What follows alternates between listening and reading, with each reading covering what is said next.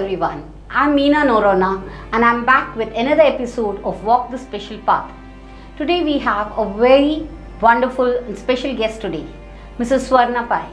She beats all odds and you can say she is so determined and she has uh, taken to task and come forward uh, defeating all her challenges. She is visually challenged but nobody can say because she is one big warrior for all of us. She has been visually challenged since childhood. Despite that, she has passed her senior secondary from Delhi and uh, diploma in counseling from Roshni Nilaya. She is presently running Sarva Mangala Trust along with her husband uh, and it helps all challenged people. She is independent in all her work. She is married and has kids. She is running this trust helping so many of them since past few years. We'll be in discussion with her and she's an inspiration to so many of them out there. When you feel you really can't do something in life, just have a look at uh, life of Mrs. Swarna Pai. Welcome Mrs. Swarna to our show today. Thank you, ma'am. So how are you feeling uh, coming here? Yeah, I'm feeling very good. I'm, um, very nice. Thank you ma'am. It's a pleasure to have you here. Yeah. Ma'am, I know that uh, you said you're visually challenged and despite that you do so many things. Yes. When exactly you became visually challenged? Because you know it's inspiration for others. Yes, yes. So I would like to ask how did it happen and what are the circumstances that led to it? Yeah, I, I'll uh, explain now. I just I became visually impaired. I can say it's almost my childhood. Like uh, uh, when I was small child, people used to recognize me as a visually impaired only at home and hometown also. So I feel like uh, I'm a, a visually challenged because I can't I can't see anything that time, and I I only uh, I can see only the uh, daylight and night somehow moon I could see. My father used to show me that moon and all, and I, do, I don't know what is the color, which color, nothing. I I, uh, I don't see anything that time. So I was uh, at home only that time. I, I was very small child, and uh, uh, I think I can say that time only. Okay. Any sickness you had ma'am which led to it or No, I didn't had any sickness when I was child, but uh, after grown up, I come to know I had uh, many uh, diseases in my eyes, seven kind of diseases, oh myopia, uh, glaucoma, keratoconus, many things. okay okay. Yeah. But I, you have never given up. I can No. see. Uh, uh, what sort of support uh, did you get ma'am like when you just became visually challenged? Uh, my father used to support me very well, but uh, in not kind of uh, school going support and all. He used to support me with the medications. Many medication he used to do when villages. When we, we were staying in one small village called Kadaba, they were, he was doing many medication that didn't suit me actually. Okay, okay. Yeah, sometimes it doesn't suit you, and that was like in quite a few years Correct. back. Now we have still more, you know, developed medicines, etc. I think that time it was not so much. Yeah, but now I don't have desire to see the world. okay, oh. because I think you have done so much, Correct. and you have achieved so much in life. I think you don't uh, longer need to see No. to achieve something. Yes. That's really wonderful and inspiring, ma'am. Thank you. Now, I would like to ask you, like, you know, uh, what challenges you faced? I can imagine, you know, a normal person who can see here and all, all has so many challenges. You, despite being visually challenged, I think you must have had a lot of challenges Yes. earlier and now also. Can you tell us some of the challenges which you are facing? Uh, now, uh, can I tell uh, now? Yeah, now what time? you are facing, ma'am? Actually, in Mangaluru, I don't get any support from people. I feel like that. That is a, my big challenge because I was in Bangalore before, so I used to get lots of uh, help from uh, people. That I can say, but uh, it's my hometown, so I don't want to say also. But I understand, Nick, uh, because if you tell us, uh, the Yeah. society will be more aware Yeah. and will be an example to others. I give an follow. example for you. Like uh, when I was in Bangalore, Okay. I, I used to drink uh, that roadside tea and all. When my I use white stick, okay. When when uh, my white stick fell down, that uh, chai wala person came and took, came down and took it gave it to me. Here it's not possible. No one is caring. I mean, no one is uh, supporting. I think so Okay, they don't help exactly. no like no helps and and when I went uh, once I went uh, in uh, Mangalore by my stick so one auto fellow scolding me very badly Oh, it happened in Mangalore, yes ma'am? yes Oh my god. I mean uh, 3 years back It's really a sad situation. I think people should be more aware, Yes. supportive. I think, you know, they are not supportive, you mentioned here. yes ma'am So I think uh, the, uh, through examples of what you have said, hope it uh, reaches this message reaches people out there to be more supportive, so that Thank more and people, uh, more people, you know, can get independent like Yes. you are. Yes. So earlier also you faced these challenges, ma'am, as you were growing up. Yeah, at, actually earlier I was at home only. I was not going out because of my uh, visual impairment. My mom, uh, my sibling, my father passed away. After that, they were protecting me more. So Okay. I was not able to go anywhere. I used to listen radio and uh, I get knowledge through that. Okay. Yeah. So you could not study braille or something like that. I studied after grown up. Actually, I can say Okay. because uh, when when I was small uh, small girl, I had a desire to go to school and I had a play with. I had desire to play with other children, but no one is including me. right. That that is the sad situation of India. No, you know. we can't say any, uh, blame them because they don't know what to do with this girl, karke. because this is this is a other different case them uh, from the other disability. No, I think the awareness is lacking yes, among people. Once the awareness is there, Yeah. and they should accept, yes, then only we can make a better society. I think, and life will be better. correct. So I uh, that's an example to others. Please, please accept. Yeah. Uh, we want to create awareness for visually challenged. So they are part of the society. We have to embrace them and support them in any way possible. Yeah, I would like to say one thing. I that uh, situation go, uh, hurted me very badly. So I w- uh, wanted to do something in Bangalore. That's why I, I came to Bangalore. Okay, that's wonderful. I think Yes. it's uh, good luck of Mangalore that you are doing such uh, Yeah. wonderful things now, Yes. despite all of your challenges. Yes. Uh, now you have uh, mentioned that you did your diploma in counseling uh, from Roshni Nilaya. Yes.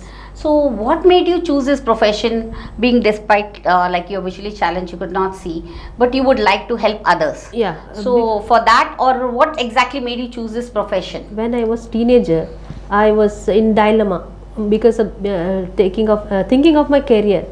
So I no one is uh, there for guiding me, no, because my father was not there. If he's alive, also he would have not guided me this way. He would Right. have guided me other way because they don't know what to do with the visually impaired karke. So my mother supported me well, but other than that, no one supported me. That when I was teenager, they she's also don't know how to support me. What about your family members, your brothers, sisters? Yeah, they uh, they uh, because they're also grow, growing with me only. No, they're also teenagers. They also don't know how to deal with me. No, I think that knowledge is not there. Knowledge, knowledge was not there Now at that least time. it's yeah, there. Yeah. Because now it's uh, uh, many medias are there and uh, social media is there. So YouTube is there. So uh, from that people gain knowledge. Before that was not there actually. Right, right. Yeah. And through this also, uh, through this channel News Karnataka, we're trying to, you know, create more and more awareness. That's a good that, thing. Uh, Yeah. Society should be aware of these things. There are people around you. Yes. Have to be sympathetic or empathetic at least. Sympathy we don't need. Actually, we need empathy only. Empathy. Yeah. That's correct. That's Yeah. correct. Uh, it's no people should be more aware that you know we have to be so uh, part of this society and you have to embrace them and you know Yeah. take uh, them along with us Correct. they're not different they are just like us maybe lacking in uh, different ways Yeah. but uh, if support is very important Yeah, it's uh, this uh, awareness is there in Delhi, Bangalore, and all because that's a capital city, right? Here Right. it's very uh, less actually, very very less I can say. i think that is there for all challenged individuals i found even when you are special needs children and adults Yeah. uh, a lot of facilities are not there like ramps yes, or yes. disabled toilets Yes. i can imagine for visually challenged again it's another bigger challenge Yeah. especially Correct. moving around. So, how has this diploma in counseling helped you to build your self esteem? Yeah, that's what, that's what I was explaining. Actually, uh, I was teenager that time. Uh, no one was there for guide me. So I that I there and I went to Delhi to study. Then I got one. I met one counselor. That she was counseling me very well because uh, of all over growth of mine. No, so I was I was thinking I should also become like that. No, Okay, Yeah, that uh, inspired me. Uh, that lady inspired me very well. So I thought I will also become one day counselor. That uh, uh, visualization became uh, I mean uh, made me. It's uh, an study. inspiration for yes, you. Yes, Oh, that's that good. made me study here. I got opportunity to study, and I got uh, became uh, Counselor. yes, I think becoming a counselor, your dream has come true. yes, yes, And I hope that is the inspiration to others who are watching you today correct. so that they can also, despite all the challenges, they can come up to do such things as you are doing. Yes, Uh, thank you, ma'am, for telling us all these. Now, I would like to ask you, ma'am, now, despite being visually challenged, you have created an independent life for yourself. Yeah. You have married, you have a child. Yeah. Can you tell us this part of your life something? Can you explain so that the viewers know that uh, being visually challenged uh, can't keep you from achieving such a lot? yeah Not only on the work front, this is your home front. So please, could you describe something about it? yeah i will- i will, I to say like uh, actually what happens is uh, uh, uh, usually visually impaired girls no uh, they Right. no one is going to marry them most of the time long back not now it's The now changed yes. yeah so that time uh, they were uh, family discussing and all. That time it's a very hurting no? Hurting things to other Right. uh, who was visually impaired. They say "Eh, she will not get married. Her sister will get married. That kind of things will be there in families no? Right. so i will i thought that time i was thinking i will not become like this. If people i didn't get uh, give a chance to say people anything uh, Right. this thing. So just uh, i uh, went to uh, bangalore to study computer then i met mr mutura so uh, he was my friend good friend. So like that uh, we uh, he we proposed each other and uh, we i got married. It was challenge only but uh, people say ma- many people discourage me. Don't get married. It's difficult for you that in the diffi-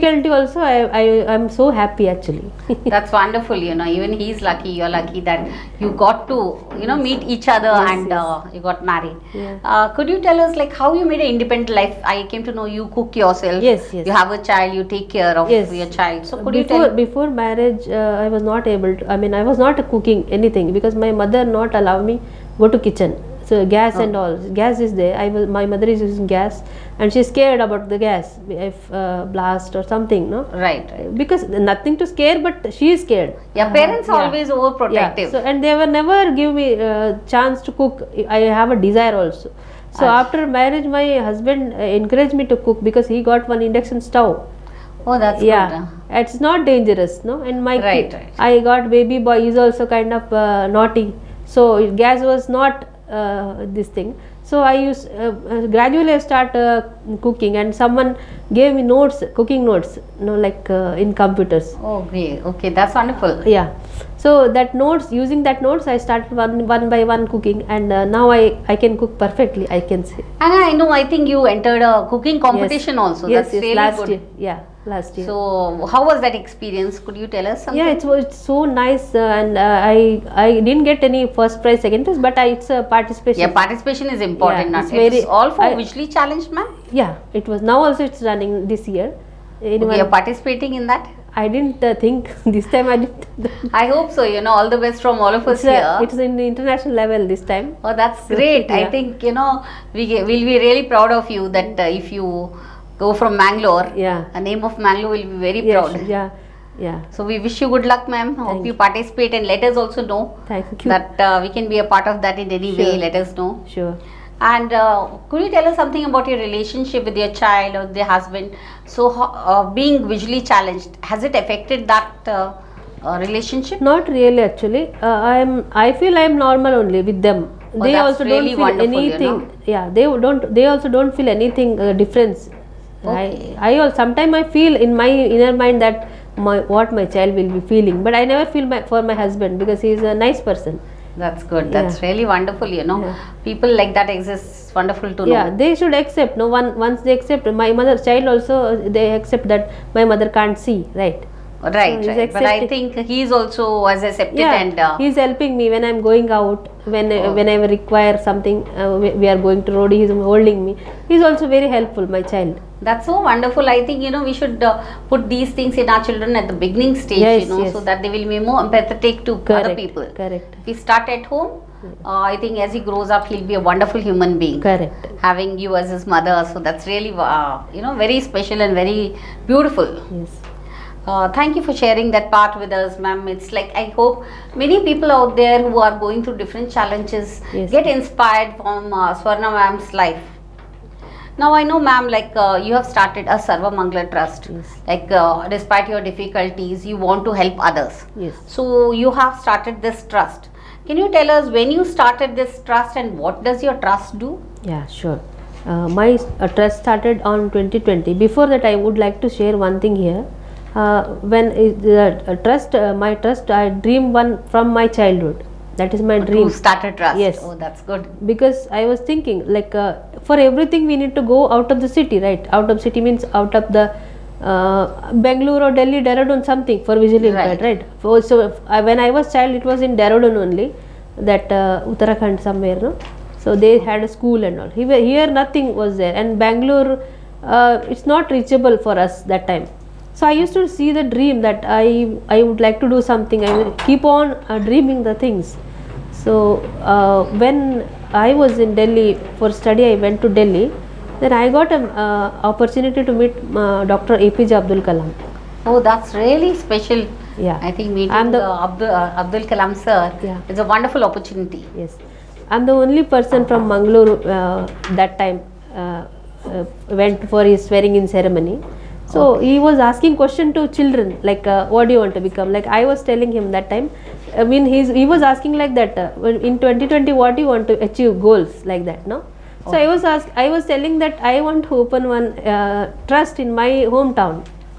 Okay, But that's I- really wonderful. yeah, you had but, dream. But I didn't know that uh, exactly that time only it will happen. We opened my trust uh, like uh, our trust in uh, 2020 only, March 16. Okay. Yeah. I think sharing that dream with Abdul Kalam sir was itself, you know, uh, a wonderful thing because we'll never get a chance like that. Correct. So it's good. So could you tell us, ma'am, something about what does your trust do? Where is your trust situated? Uh, actually, uh, we our trust situation uh, situated in the that uh, Morgan's Gate. No? Where- Okay. Okay. So uh, I give you my number and all. So Okay, yeah. What does your trust do exactly? Like how it helps others? uh, we uh, give op- uh, employment opportunity right now and uh, we last year we did uh, public coaching service for uh, uh, visually impaired people by online Okay. because that uh, uh, uh, due to covid uh, situation uh, we won't not able to open the office and all so online session we are used to give Oh, to that's that's good. I think you are uh, trying to give opportunities, employment opportunities for many of the challenged individuals. yes yes And that's really a good uh, object. I think the society should support you in every way Yeah, because you're yeah. doing such a wonderful uh, work. yeah i was requesting to society to give me support So, ma'am, when you're doing this trust, do you reach out or they come and approach? uh, we also reach out and sometimes they also come because uh, do, uh, to someone they come to know we are uh, uh, so government office and all no we uh, told them uh, ddw and uh, ddrc some offices Okay. so sometimes they reach us and sometimes we also I think in Mangalore we need to have more facilities to reach out to people. yes Right now there's a visually impaired uh, school from Seva Bharati which they have opened up. yes It's a free school. I think many of them would benefit from that. correct So, ma'am, I would like to again ask you now. You're in Mangalore. You're living. You're do, uh, opened your trust. What facilities do you think we have for the differently abled in Mangalore or Karnataka as such? And what more facilities uh, we could have?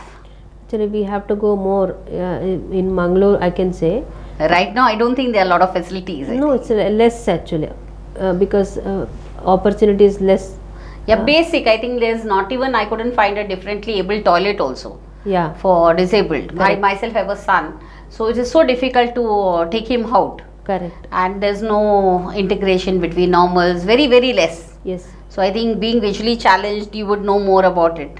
So what more facilities you think we we should have in Mangalore or in Karnataka to have a better life? first we have we need to have awareness Right, that's more more, than anything right. it's very very important uh, to small child to or elders also we need to have awareness right, great. so how to help them no if Right. we, if people start to help others other disability so nothing we don't need anything Right, that's. I think the awareness is the first part of this Correct, journey. correct. Then acceptance. I think Yes. that's that's more uh, Yeah. important. yeah acceptance is very important uh, and awareness more than that i don't think we after that other things are secondaries no that Yeah, we but can still do we need like Yeah, lot of yeah, facilities. sure. Mangalore has to come a long way. yes yes So I a- think yeah, it with the support time of i think uh, so society, correct uh, nothing is impossible. But I think along with the society. we need to create awareness awareness. We- Right, right. yeah. Uh, we start from the beginning. That's good. yeah So, ma'am, what message would you like to give to other visually challenged uh, individuals out there and who will get inspired uh, and to all the families who are pulling them back, you know, like uh, you couldn't go out as you said. So, what message would you like to give to all the other visually challenged? other visually challenged they should have a challenge in their mind first of all because the, if the parents say don't go they will think uh, yeah, i should not go out because they're stopping me no that should be not there. I will go. I do myself. Like that uh, i mean i do any, uh, whatever i want. Like that thing should uh, be there in their mind. I think that hope they should not lose yeah that hope. yeah they should not lose their hope first Right. of all. And second uh, that uh, they whatever they uh, wanted to achieve no? Right. they uh, they should get support for that. But uh, from parents uh, uh, i would like to say for parents no? Right. like uh, they should also support them Right, true. I think that support from parents, from family, friends is very much needed. needed yeah Right. yeah So, um, I have. I would like to ask you before we end. Like you have chosen the field of counseling. You're uh, running the trust. So, are you satisfied with your chosen field? uh, somehow i satisfied but i need to go more Right. That's yeah it. So, it's not uh, like uh, it's not like uh, uh, small journey i have to go more and more so i have you to need achieve to work more, more. and yeah yes. So that's really wonderful, ma'am. Uh, we wish you all the best. Thank uh, And if you'd like to leave a note for News Karnataka, Yeah. what would you be? First of all, I, I thanks to News Karnataka because I, they gave me this opportunity to talk with you today, and uh, uh, I would like to request them that they should uh, uh, broadcast their more and more this kind of program, no, like awareness program. Right. Yeah, that is my message for News of News Karnataka. Thank you. Yeah, really, I think this is something new we have started to create, especially the awareness in Bangalore and wherever. I think people who are watching this show, despite having any challenges, please do not give up hope. Yes, we are trying to create awareness, we need acceptance, we need inclusion. But let's come forward and embrace all those challenged individuals. Let them make them a part of your society because they are very important part. So before we end this show, so all the best to Swarna ma'am. Thank, Thank you, very much. And to every viewer, please take some inspiration from Swarna ma'am's lives. Or there are so many people out there. We have experts to reach out to you. Please do not give up hope. Try to achieve whatever you can, maybe little by little, one step at a time. But yes, you can do it. And that's all for today from Walk the Special Path. Thank you. Thank you, ma'am.